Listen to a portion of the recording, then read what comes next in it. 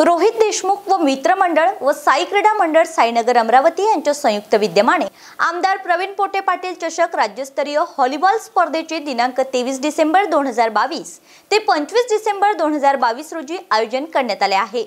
सदर स्पर्धेत विविध राज्यातील नामांकित बारा संघांचा प्रवेश निश्चित झाला आहे.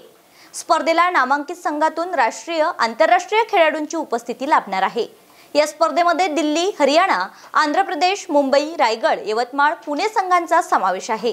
स्पर्धेतील विजय चमूंना प्रथम पारितोषिक एक्कावन्न हजार रुपये व चषक रोहित देशमुख तर द्वितीय पारितोषिक एकतीस हजार रुपये व चषक विजय रहाटे तसेच तृतीय पारितोषिक एकवीस हजार रुपये व चषक अभिजित वडनेरे व सुनील चिखलकर यांच्या सौजन्याने देण्यात येणार आहे.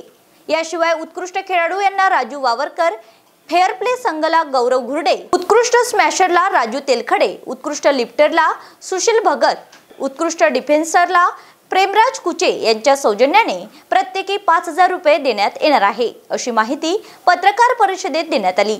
यावेळी रोहित देशमुख डॉक्टर निक्कू खालसा समीर ताटे हेमंत बाजळ डॉक्टर विजय गुल्हाणे उपस्थित होते.